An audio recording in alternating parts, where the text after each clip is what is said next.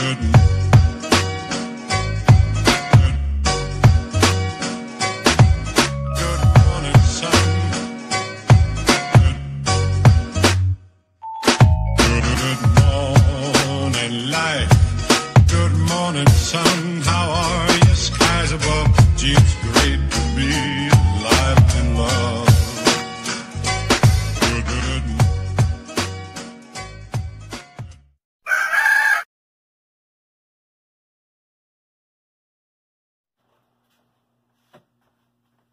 Hi, boys and girls. It's Mr. Folland, and we're moving on to chapter two of our Spot Run story time. Yesterday, we started hearing our new book, Wayside School is Falling Down. If you missed it, yesterday's story was so cool. Make sure you go back, watch it, spot run through it. All right, we're on chapter two. It's called Mark Miller. Mrs. Jewls rang her cowbell. I would like you to meet Mark Miller, she said.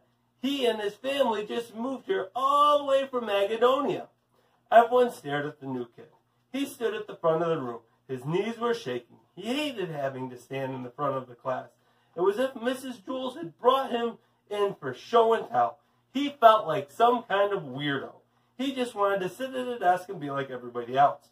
At, but worst of all, his name wasn't Mark Miller.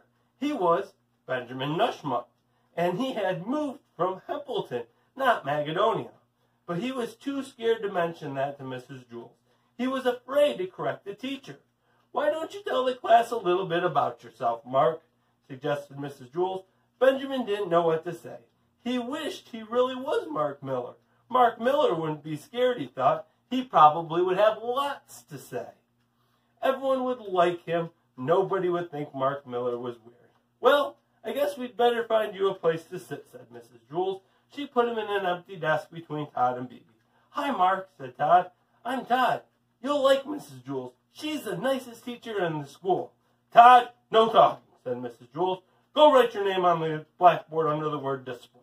Hi, Mark, said Bebe. I'm Bebe Gunn. Hi, Benjamin said quietly.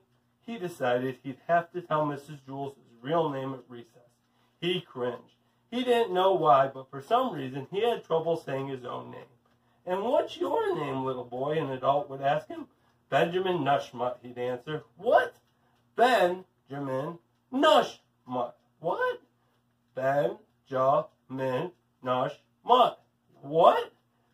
Benjamin Nushmutt. What? Benjamin Nushmutt. Oh, nice to meet you, Benjamin.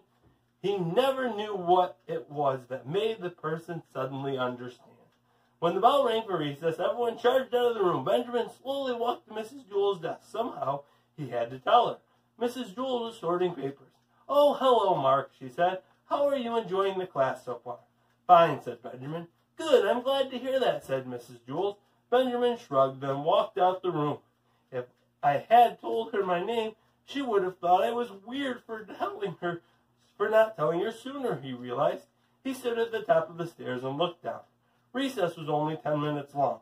It didn't seem worth it to go all the way down and then come all the way back up. He didn't have any friends down there anyway. He had never been more unhappy in his whole life. He sat on the top step. Mark Miller, he said out loud. It was an easy name to say. Mark Miller probably would have made lots of friends by now, he thought. Suddenly he heard a low rumble. Then the stairs began to shake.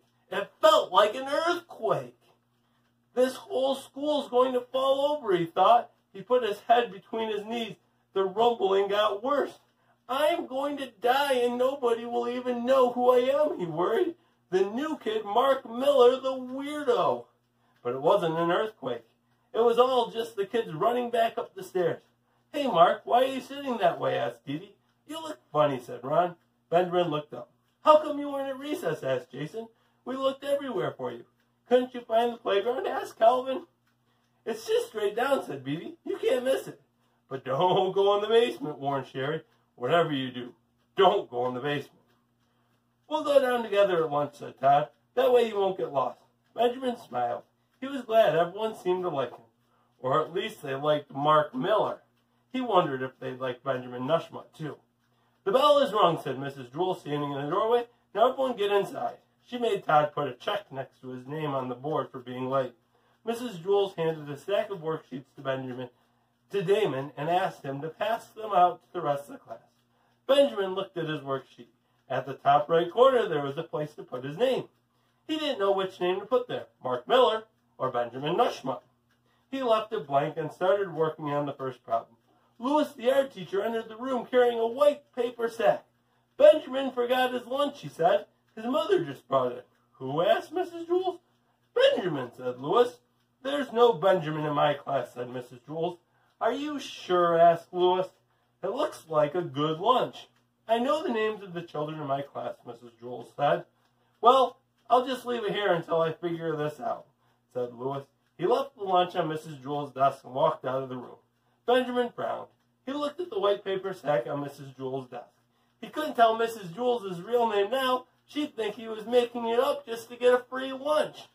He wrote Mark Miller at the top of his worksheet. But one of these days, he knew he'd have to tell her his real name. I wonder when that's going to be. I can't wait to find out. Boys and girls, our steps for today. Tune in tomorrow during Good Morning Muscles. We're going to move on to chapter 3. Chapter 3 is called Bebe's Baby Brother. That sounds like a good one. Hey, have an awesome day. Now we need the monk.